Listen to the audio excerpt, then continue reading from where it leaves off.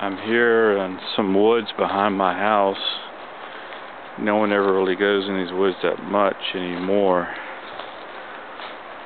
But here I find a deer stand.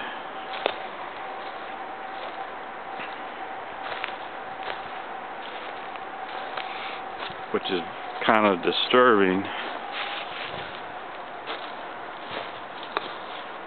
You know, no one's supposed to be hunting around here. It's a, I'm actually inside of a small town, city limits. These woods are completely surrounded by uh, residential neighborhoods. These woods are only about nine acres in size. Occasionally we do see deer, but uh, no, no one's supposed to be hunting. That's not right.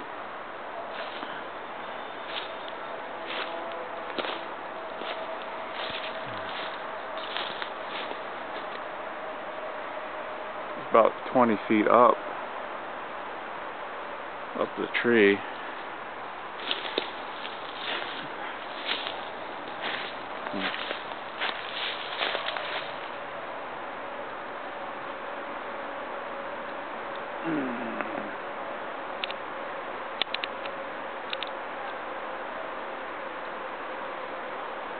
This is my second time here. I climbed up this. It's pretty sturdy.